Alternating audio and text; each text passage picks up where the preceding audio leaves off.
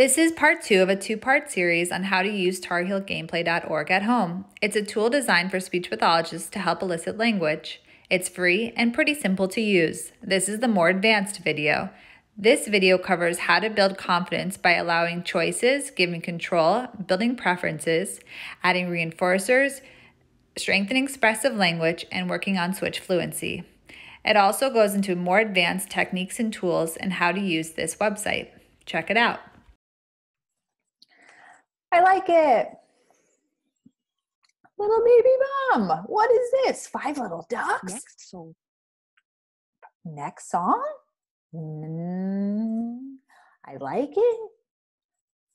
Next song? That's what I want. Next song.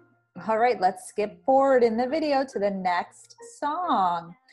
All right, so this is part two of Tar Heel gameplay. Um, this is a little bit more advanced than what we did last time. So try to stick with me through this. So basically, you know, once you create these um, videos for yourself, remember you can keep this forever. So putting in a little bit of work in the beginning will really help you in the long run.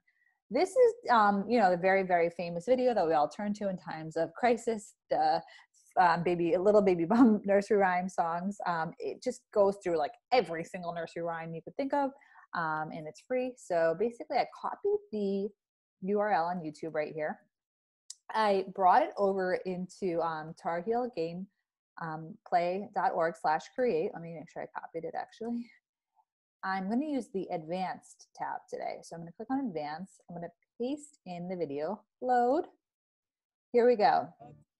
So one, oh, why is it starting so early? Once it shows me that there's about to be a new video, I'm going to add a pause. So let's watch. Five little ducks. Oh, look. Add a pause. There's five little ducks. Let me just pause the video one sec so I could talk. So the choice at six one is when five little five little ducks came on is you could ha- however you want to do it. I'm just going to do I like it for my particular kid I'm working with, and that will the action will be to continue that video. Or there's a little plus here. I'm going to put in next song and that will jump to a different part of the video. Now I I'm I'm going to try to get this precisely here. So I'm going to just drag this over here so I can see where the next video starts. The next one is ah here it is Wheels on the Bus at 2 minutes and 13 seconds. This only corresponds to seconds. So 2 minutes and 13 seconds is 133 seconds. So 133 seconds. Now you can keep doing this where you're playing and adding a pause, playing and adding a pause until you get the whole video down. Um, but that's just kind of what it looks like. And then let's just show, let's show what it looks like. So let's go back to play. So now it's gonna load. Now remember, this is your unique URL here, so don't lose like this. It. Okay, so let's let's start. It always starts like this. So let's go. I like it. Let's go. Kind of shows you the two choices that you're gonna have throughout it. Oh, five little ducks. Oh, next song. Do we like five little ducks? So we have next song or I like it. What do you think, Sarah? Next song. I like it. Use your switch, use your voice, use your PECS, whatever you're using. Next song. Oh, that's what you want? Now it'll click forward to um, wheels on uh, the wheels on the bus song. This is great for you guys um, to help kids you know low pressure learn language learn switch use learn expressive language um, through a really fun environment. And don't forget you could keep these urls in your um, tar heel gameplay account. I showed on video one how to do that or you can just keep it on a spreadsheet for yourself. All right so that is the more advanced option um, and how to use this as a language opportunity now there's a bonus I wanted to go over it with you today, which is the precise tab. So if you click on precise, I'm gonna add, the, um, let's do Pete the cat. I mean, come on, Pete the cat. We love Pete the cat. So we're gonna use, uh, in this example, we're gonna take the video and we're gonna use the video to help us with a core word phrase. And the core word phrase is goodness no. I mean technically the only word that's core in there is no and that's like even borderline. So we're just going to call this an emergent um, an expressive user um, emergent and expressive language activity for our user okay? So i'm going to copy the url of pete the cat. Let me start from the beginning. Yeah pete the cat okay? We love his white show i think everyone on the planet knows the song. So I'm unprecise again. I'm going to paste the URL in here, load. Okay.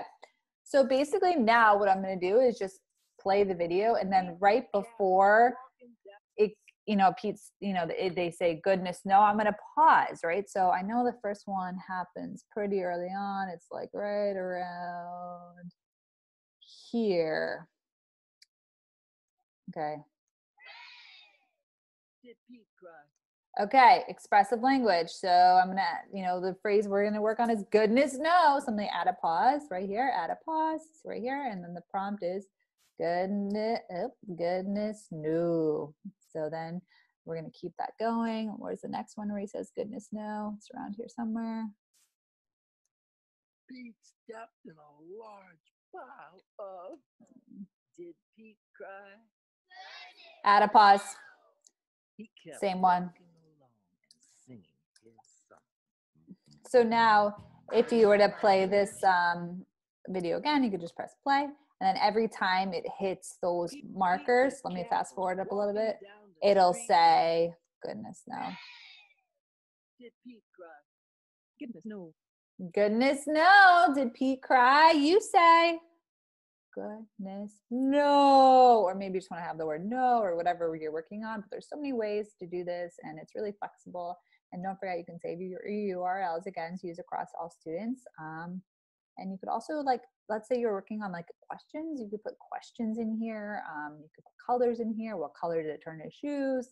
So many different ways you could use this. It's totally free. And the best part of it, in my opinion, is that it just makes it easy for us. It removes all the ads and makes learning fun. So use what you got, you know? And I hope this helped you. And if you have any questions, please feel free to reach out to me.